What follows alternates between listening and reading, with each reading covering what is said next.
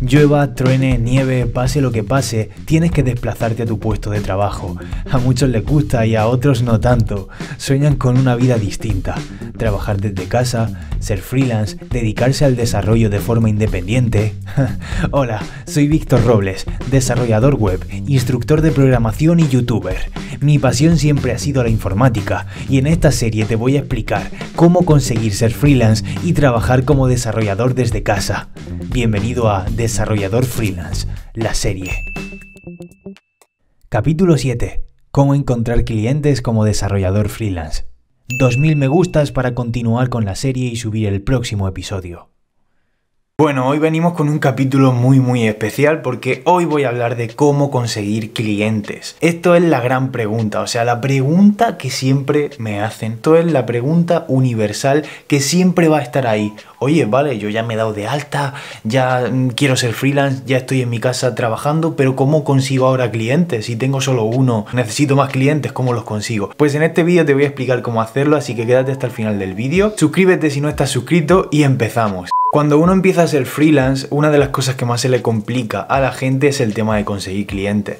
Porque al principio, hay que ser sincero, cuando empiezas a ser freelance, no te llama nadie. Pero es muy fácil. ¿Sabes por qué no te llama nadie? Porque no te conoce nadie. Entonces, hay que hacer trabajos para darte a conocer, para tener un buen boca a boca, ¿no? Hay que hacer trabajos para darte a conocer a otros clientes y que esos clientes te recomienden.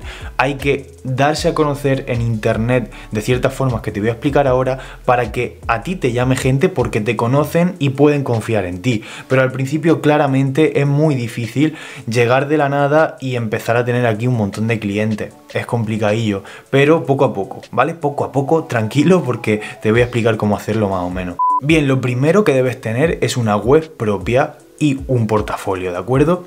Tu web es tu casa digital, digamos, es tu carta de presentación, es decir, tú no te puedes estar dedicando al desarrollo web y no tener en internet pues una página web donde pongas tu servicio. ¿Qué servicio ofreces? ¿Qué sabes hacer? ¿Qué tecnologías conoces? ¿De acuerdo? Tú tienes que tener una web para enseñar eso, para que te pueda encontrar gente, para que te puedan encontrar clientes.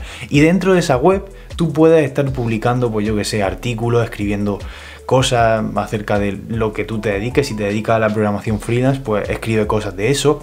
Y sobre todo, lo más importante, aparte de tener una presencia en internet, para que cuando la gente busque eh, pues mira, si tú vives por ejemplo en Bogotá, Colombia, desarrollador web Bogotá, pues tú optimiza ese SEO para que tu web aparezca y te puedan contratar quien busque un desarrollador web en esa ciudad en concreto pon Bogotá, pon cualquier otra ciudad del mundo. Y también en esa web tienes que especificar básicamente tres cosas. Los servicios que ofrece, las tecnologías que conoce y lo más importante, un portafolio de proyectos o de cosas que ha hecho tú. ¿Qué es un portafolio? Pues básicamente son los proyectos que ya has hecho o parte de los proyectos que ya has hecho para que el posible cliente cuando los vea diga, hostia, ha hecho esto, ha hecho lo otro, me gusta, puede ser que pueda contar con él, ¿no? Entonces, ten un buen portafolio ahí y los clientes van a llamarte mucho más. Así que paso número uno, tener una web con servicio, habilidades y portafolio. Bien, paso número 2 para conseguir clientes si eres freelance. Darte de alta o registrarte en portales de trabajo freelance. ¿De acuerdo? Hay infinidad de portales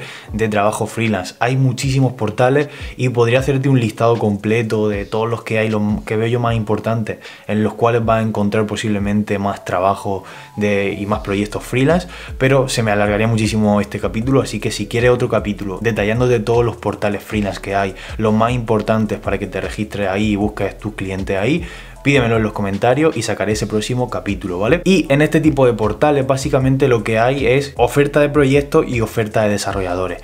Es decir, que tanto tú como profesional puedes estar buscando proyectos en esa web y al revés también funciona. Es decir, que el que tiene un proyecto puede buscar desarrolladores ahí porque habrá muchos que se estén ofertando ahí, que estén ofertando su servicio y también como cada proyecto, cada cliente es diferente, cada cliente va a buscar y cada proyecto va a requerir unas necesidades concretas. Por, por tanto, al haber tanta infinidad de tecnologías hay oportunidades para todo el mundo. Es decir, que si tú sabes programar con Python, que por cierto tengo un curso que te dejo por aquí abajo de Python, brutal, el máster en Python, y si sabes programar con ese lenguaje y hay un tío que tiene un proyecto de Python que necesita un programador con Python, pues te va a llamar a ti, ¿vale? O si hay otro que sabe programar con Symfony y viene un, un hombre con un proyecto de Symfony, pues va a encontrarte y seguramente te pueda llegar a contratar para trabajar de freelance en ese proyecto, ¿vale? Y así con infinidad de proyectos. Así que estar presente en este tipo de portales freelance es una buena clave.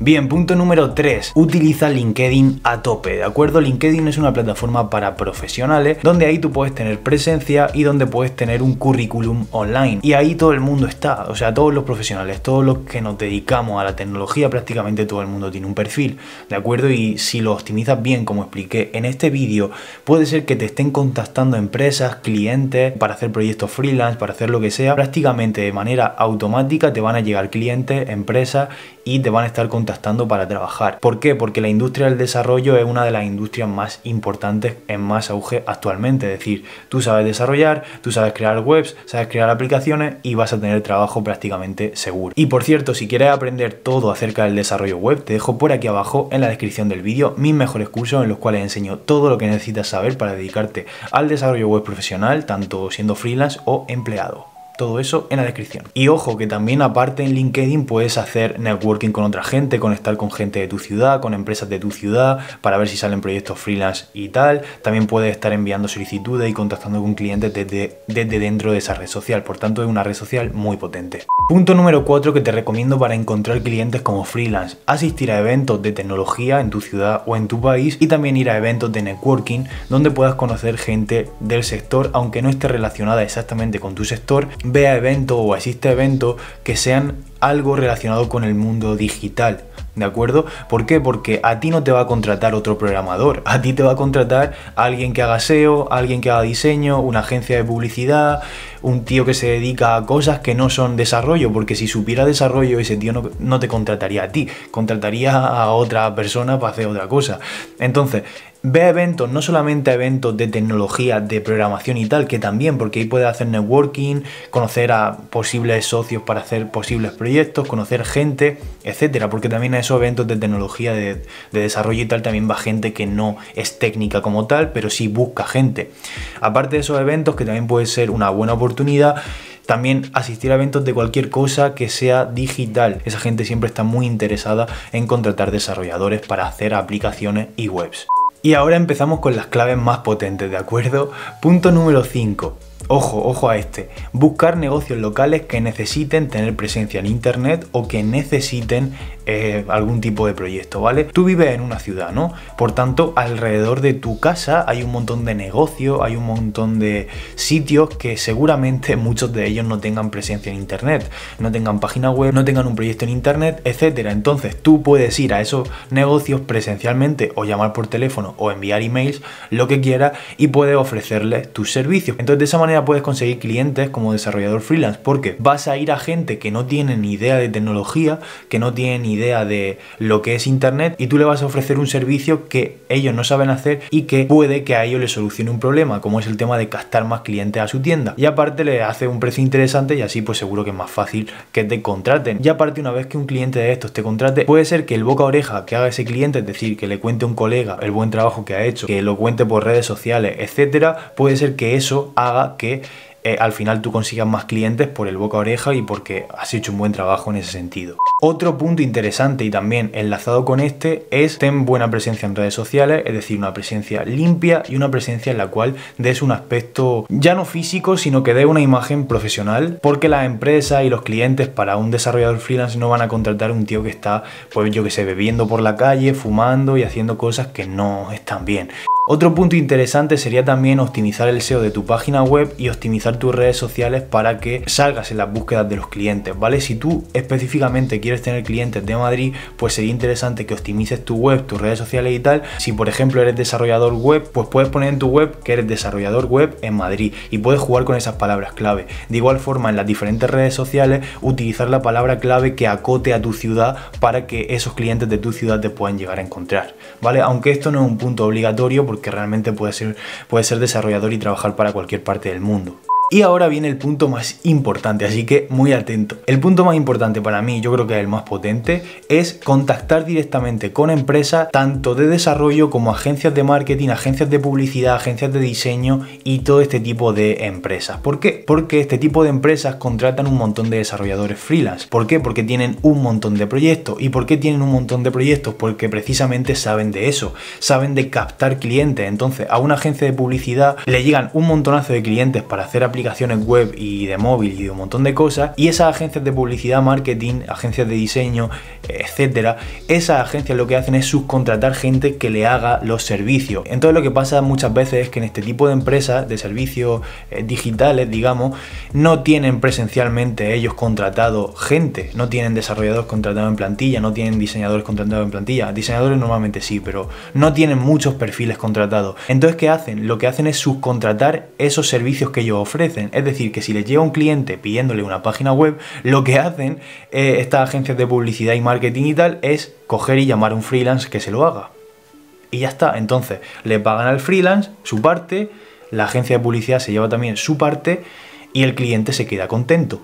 ¿Ok? Entonces aquí realmente todos ganan, tanto el que ha captado al cliente, que es la agencia, como el freelance que ha programado las cosas y ha desarrollado la web, como el cliente que tiene su producto medianamente rápido y bien hecho. Entonces esto tienes que tenerlo claro. Uno de los clientes más importantes para un freelance son las propias empresas, ¿de acuerdo? Empresas de todo tipo y sobre todo empresas que se dedican a este tipo de cosas, agencias de publicidad, agencias de marketing, diseño, este tipo de cosas, piden y buscan un montón de desarrolladores que hagan sus proyectos porque ellos no tienen plantilla a nadie. Ellos se encargan de captar esos clientes a tope y luego esos proyectos lo van eh, repartiendo a freelance y esos freelance hacen el trabajo sucio, digamos, y la agencia pues se queda un pico muy tocho de, ese proyecto, ¿no? Tú solamente estás en contacto con la agencia, pero la agencia tiene el cliente y ya sabrá ella lo que le cobra al cliente final. En tu caso, el cliente es la agencia o la empresa que te contacta. Entonces tú le pasas el presupuesto y ya. Que por cierto, haré otro capítulo de cuánto cobrar por una web, cuánto cobrar por una aplicación de móvil. Así que este es uno de los puntos más potentes. Tú lo que puedes hacer directamente es coger las redes sociales de las empresas que a ti te interesen, que se dediquen a cosas relacionadas con, con lo tuyo, tanto